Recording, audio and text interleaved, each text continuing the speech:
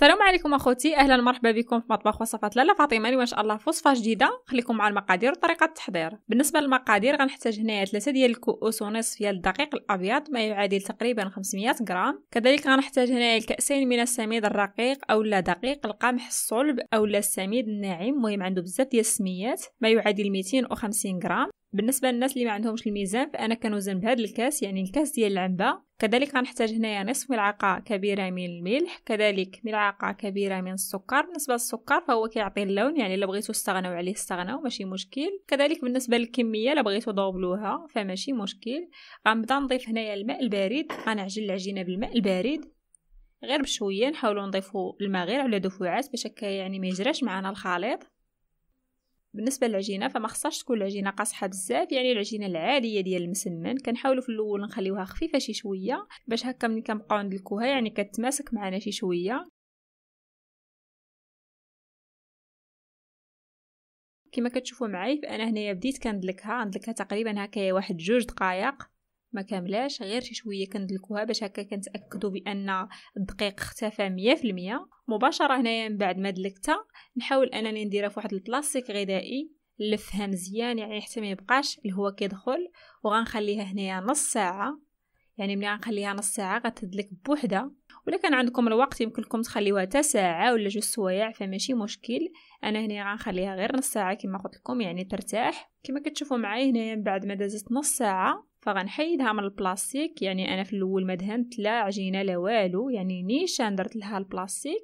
نحاول أنني ندلكها غير شي شوية يعني دقيقة ما كاملاش كما كتشوفوا معايا هنا يعني ما غن ما غنبدلش معاكم غنخلي نفس اللقطة يعني غير كندلكها غير شي شوية على هذا الشكل. يعني تقريبا هكا واحد دقيقة ما كاملاش على هاد الشكل فهذا هو القوام ديالها. يعني كتكون العجينه رطبة يعني كتدلك بوحدة ملي كنخليوها داك نص ساعة كتدلك. دابا غندهنها بواحد شوية ديال الزيت النباتية وغنغطيها بالبلاستيك غنخليها عشرة دقائق يعني هاد المرة ما كنخليوهاش بزاف غير شي شوية غير حتى ترتاح لنا شي شوية باش ندوزو نكوروها. وهكا كيصبح الشكل ديال العجينة من بعد ما دازت عشرة دقائق كما كتشوفوا معايا في العجينة ولات مطاطية يعني ولات رطبة ومدلوكة. دابا مباشرة هنايا عندي واحد البلاطو غندهنو بواحد شوية ديال الزيت النباتية. غنحاول أنني نكور العجينة الكويرات اللي يكونوا صغيورين. يعني ما نديروش كويرات كبارين بزاف يكونوا صغيورين باش هكا ملي نجيو نضوبلوهم ما نحصلوش على المسمنة اللي تكون كبيرة بزاف. من بعد ما كورت العجينة مباشرة غندير لها شوية ديال الزيت النباتية وغنغطيها بالبلاستيك مرة أخرى ونخليها ترتاح. المهم كما عارفين راه المسمن ضروري خصو يرتاح باش هكا ملي نجيو نسرحوه يتسرح معنا يعني دغيا. هنا من بعد ما ارتاح المسمن شي شوية فهو كيولي رطب على هذا الشكل.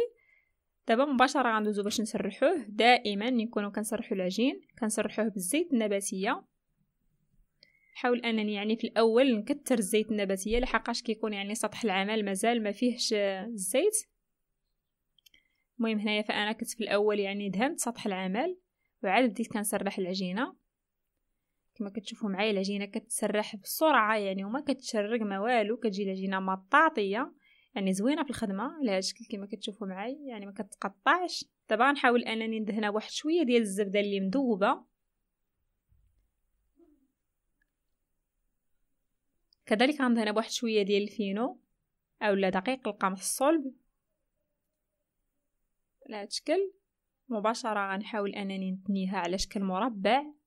دائما العجينه خصنا نسرحوها تكون رقيقة يعني ما نجيوش نتنيوها وهي مازال غليظة. خصنا ضروري نسرحو العجينه مزيان حيت العجينه ما فيها لا خميرة لا والو. باش تجينا مورقة خصنا نسرحوها تكون رقيقة.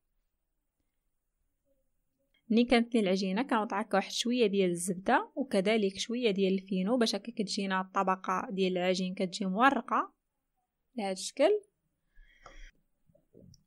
مباشرة من بعد ما كنسرح العجينة كنحاول أنني نطلقها على شكل مربع على هذا الشكل. يعني غير بشويه لحقاش يعني ما خليناش العجينة حتى ارتاحت كنسرحوها غير بشوية كنعطيوها الوقت. بالنسبة للعجينة كنحاولوا ما نرقوهاش أكثر من القياس باش هكا كتجينا مورقة. على هذا الشكل كما كتشوفوا معي مباشرة عندي هنا واحد المقلاة اللي سخون غنضيف له واحد شوية ديال الزيت النباتية. بالنسبة للزيت النباتية فكنضيفوها غير في الأول كندهنو المقلاة دابا مباشرة من بعد ما كنوضع المسمنه كنخليها غير شي شوية باش هكا منين نجي نقلبها ما تكسرش معاي وكنبقى نقلبها. يعني كنبقى نقلب فيها باش هكا كتنتفخ معاي. كنخليش مسمنه حتى كطيب عاد كندوز باش نقلبها. لا مباشرة ملي كنوضعها كنخليها كما قلت لكم غير تنشف غير شي شوية وكنبدا نقلبها نقلبها وهي كتنطفخ. كما كتشوفوا معايا العجينة كتجي رائعة وكتجي منفوخة. على هذا الشكل كما كتشوفوا معايا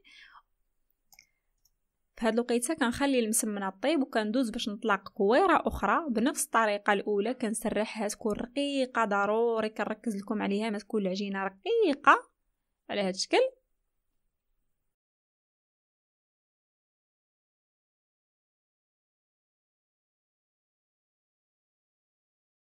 من بعد ما بقى كيبان لي سطح العمل على هذا الشكل كنحاول انني نوضع واحد شوية ديال الزبده وكذلك واحد شوية ديال الفينو.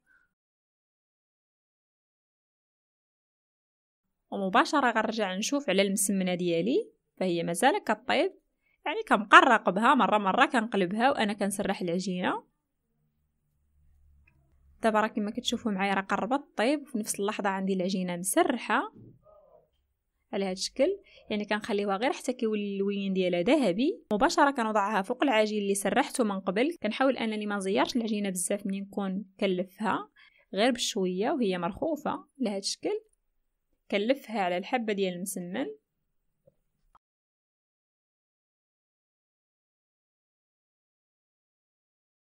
ومباشرة كندوز باش نطيبها. يعني كنوضعها في المقلاة ما كنضيف لا زيت لا والو. على هذا الشكل. كنحاول أنني نخليها غير شي شوية وكنقلبها.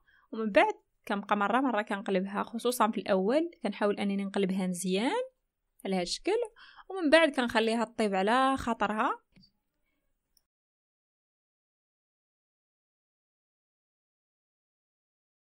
وفي هاد الوقيته كنخلي المسمنه كطيب وكنرجع باش نسرح العجينه. كما كتشوفوا معايا فانا هنايا سرحتها يعني العجينه رقيقه. كنوضع على واحد شوية ديال الزبده مذوبه وكذلك شوية ديال الفينو.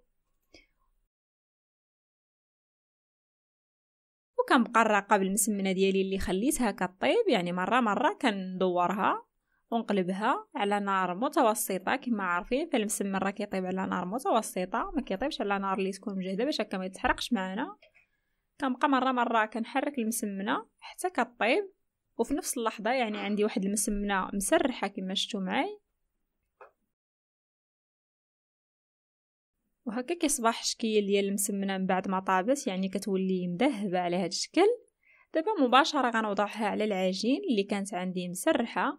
يعني وأنا كنطيب كنسرح العجينة.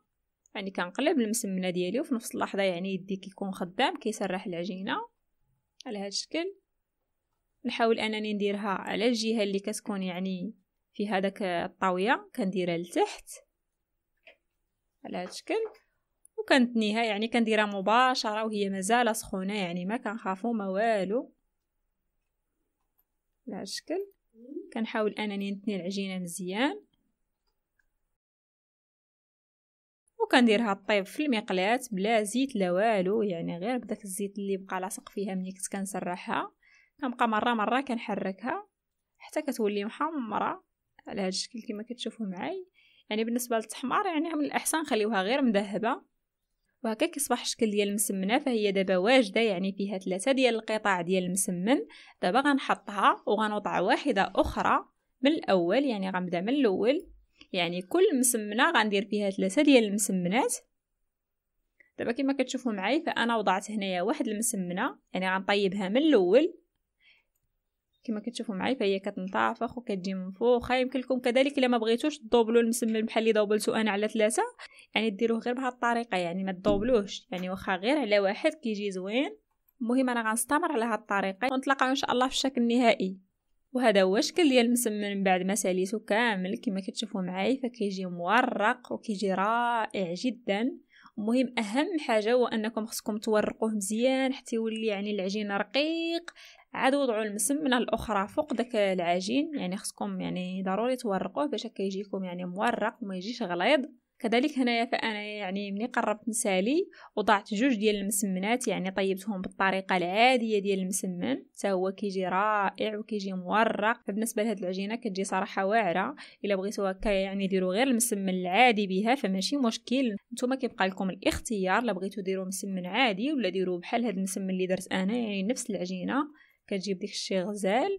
ودابا مبقى لي إلا نودعكم عجبكم الفيديو ما تنساوش تدعموني بلي لايك وكذلك كنتو أول مرة كتشوفوني. ما تنساوش تشتركوا في القناة وفعلوا الجرس باش دائما توصلوا بالجديد مع السلامة نتلاقاو فيديو آخر.